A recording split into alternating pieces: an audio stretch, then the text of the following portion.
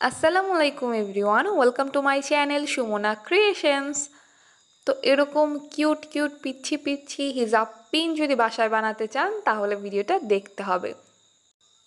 এই যে কাঠের বেস দেখতে পাচ্ছেন, এই বেসের মধ্যে আমি অ্যাক্রোলিক কালার দিয়ে রং করে দিচ্ছি।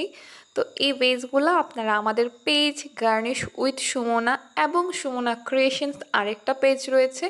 ওই যে কোনো একটা পেজে নক দিলে পেয়ে যাবেন। এছাড়া ফোন নাম্বার তো রয়েছেই, আপনারা যোগাযোগ করতে পারেন।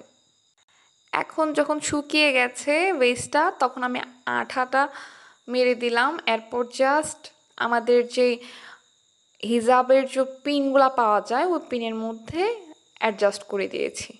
তো আমি আরেকটু ডিটেলসও আরও দেখাবো।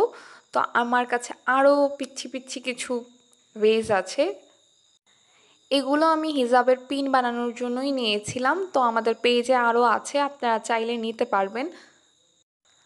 আমাদের হোম ডেলিভারি সার্ভিস রয়েছে। তো আপনারা বাংলাদেশের যে কোনো জায়গা থেকে অর্ডার দিতে পারবেন, সমস্যা নেই।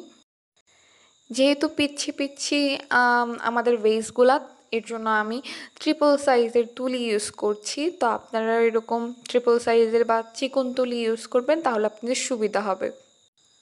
তো আমি একসাথে অনেকগুলো বেসের কিন্তু কালার করে নিচ্ছি। তারপর বাকিগুলো শুকাতে দিচ্ছি। শুকানো হয়ে গেলে আমি বাকি প্রসেসে যাব। কাঠের গয়না নিয়ে যারা কাজ করতে চান, তারা কিন্তু আমার চ্যানেলে আরও অনেক ভিডিও রয়েছে। আপনারা ওগুলো দেখতে পারেন, কি কি কিনতে হবে ওই সব নিয়ে কিন্তু ভিডিও রয়েছে। এছাড়া আপনারা আমার পেজেও নক দিতে পারেন। পেজে নক দিলে আমি আপডেট দিয়ে দেব। আমার চ্যানেলে কিন্তু প্রতিনিয়ত hand painting blog batik screen print resin কাঠের গয়না থেকে শুরু করে ইত্যাদি নানা ধরনের এই টাইপের ভিডিও কিন্তু দেওয়া হয়।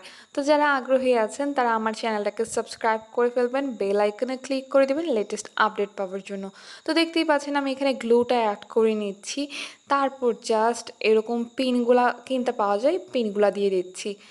আঠার মধ্যে জাস্ট পিনগুলো এভাবে দিয়ে তারপর উপরে আরেকটু আঠা দিয়ে দিচ্ছি। আর এই আঠাগুলো খুব ভালো কিন্তু আঠাগুলো শুকানোর আগ পর্যন্ত কিন্তু আপনারা এরকম ধরবেন না। আমি কিন্তু উল্টা করে রেখে দিয়েছিলাম, এখন শুকিয়ে গেছে, এখন আবার দেখতেই পাচ্ছেন, সোজা করে দিচ্ছি। তো শুকিয়ে গেলে অনেক ভালো কাজ করবে, কিন্তু যদি না শুকায় সেক্ষেত্রে কিন্তু উঠে যাবে। আর এই আঠাগুলো অবশ্যই ভালোভাবে কি করতে হবে? আপনার যখন আঠাটা বেসে দিবেন, সাথে সাথেই আপনার কাজ করে ফেলতে হবে, নাহলে আঠাটা শুকিয়ে যাবে।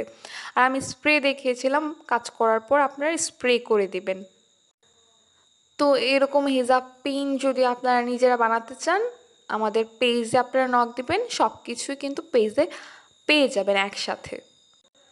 তো আজকের ভিডিওটা আমি এখানেই শেষ করছি। সবাই অনেক বেশি ভালো থাকবেন, সুস্থ থাকবেন। আল্লাহ হাফেজ।